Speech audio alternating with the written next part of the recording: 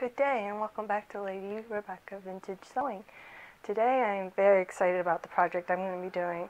I've been on a lot of vintage groups on Facebook and Instagram and I've noticed this popular cape cloak from Vogue and as soon as I saw pictures going up with this item I knew I had to sew it like immediately and I sewed it over Thanksgiving break and because uh, I had break, meaning I took the week off from work, and I just sewed like crazy. So like, I need this cape for winter. It's so pretty.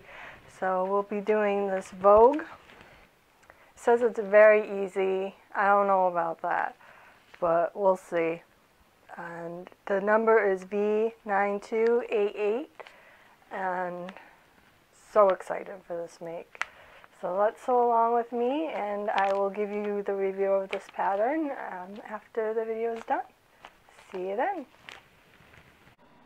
I'm going to start working on this Vogue cape slash coat. Very excited for this. Looks super cute. I've seen a few people make it on my vintage group so I'm very excited to make mine. And I have pattern laid out here. I'm going to cut it and we'll get started. I have my little helper here. She's a great help. Let's give it a try.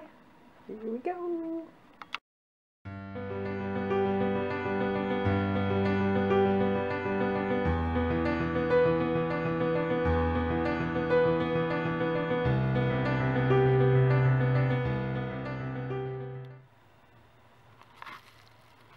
Good morning. It's the day before Thanksgiving.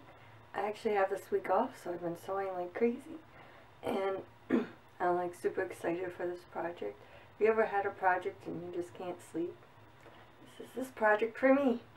I just couldn't sleep, so I'm up early. The sun is just starting to rise. and and I'm super excited to start this project. Hopefully I don't wake the sleeping husband. Let's get started for the day.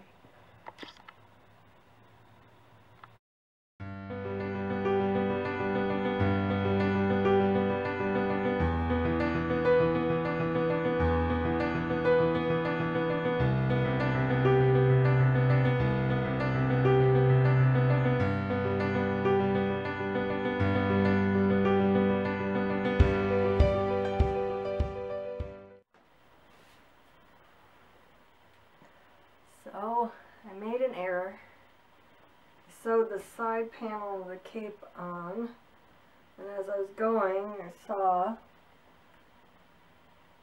wait a minute it's not going to the edge of the ending of the back cape. I'm like but I cut it out just fine. So I figured out I sewed it on the wrong side. So I have to take it apart. Fun, fun times. Let's, let's fix this and get back on track. It's all sewn and ready to go. I have the lining here that's going to go on next. But for now, I'm going to take a break, get ready for the day, have a little snack, and I'll see you on the next take. Alright, we're back. Uh, one thing I realized through this whole video so far, I forgot to use my mic. So I'm sorry if the audio isn't the best in this video. Alright, so next up we have to do is pressing of the seams and the lining of the cape. So here we go.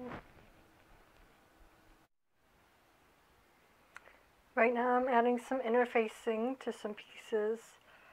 I don't know if anyone else does this, but when I do interfacing, I get this little board, ironing board out that I've used multiple times and gotten fusible interfacing all over it. So this is the board I use for only interfacing. I don't know if that's helpful or not, but this is something I do.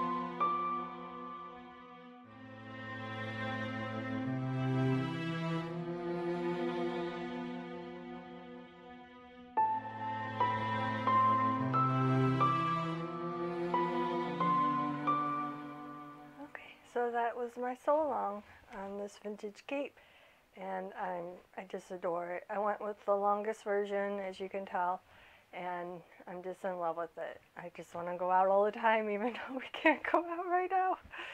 But uh, every time I go to the grocery store I'm like, cape, cape. Um, and this wool is very nice. I love this wool that I got from a local store in Pennsylvania. They do actually ship fabric, so I will leave the link in the description if you want to check them out and look at their other wools or maybe they still have this one. You could probably email them and see if they have this particular um, fabric. It reminds me of Slytherin, even though I'm Hufflepuff. And I am going to be so warm this season. And a few things about the make. It was fairly easy.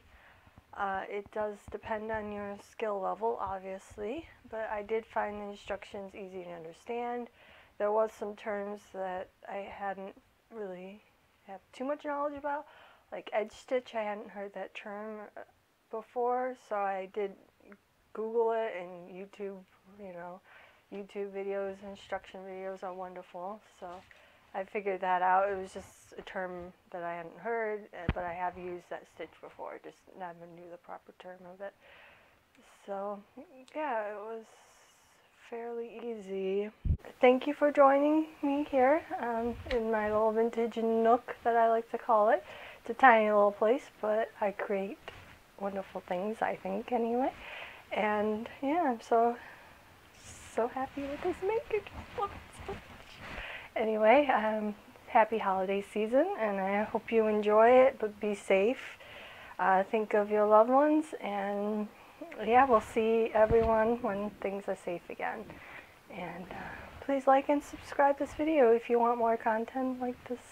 You enjoy what I do, stick around. If not, yeah, I understand I'm new to this, so we'll see what comes of this. And have a great day. I'll see you guys later. There was one more thing I wanted to add about the cape. Uh, if you use wool, make sure you line it. It will be itchy. And around the collar area, I decided to line that with the lining fabric instead of the wool because I am very itchy with wool and it's very irritating. And that has helped with the comfort level a lot. So I highly suggest to line if you choose to use wool. And I also wanted to say I'm very excited about upcoming projects. I'm going to start my first huge project that I've been wanting to do for years. Just never felt confident enough to take on 18th century, so I'm going to give that a try. Don't look for the video for a while because I don't know when I'm going to have time to do it between work and school, but it will be here and there, and I don't know how long it's going to take me. But I will have other projects in the works. I just got two other vintage patterns um, by Annie Adams and other another creator uh, that I'm excited about. Kind of inspired by Queen's Gambit.